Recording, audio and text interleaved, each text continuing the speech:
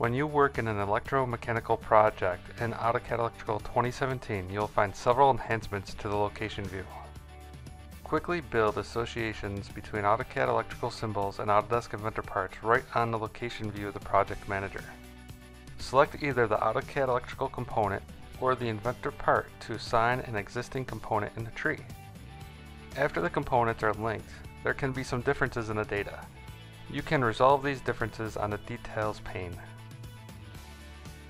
If your Inventor assembly contains connectors, you can now insert those from the Location View tab.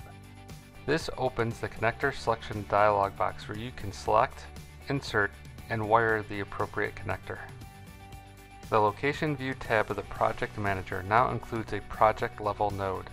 Select this node when you want to view or export the entire project.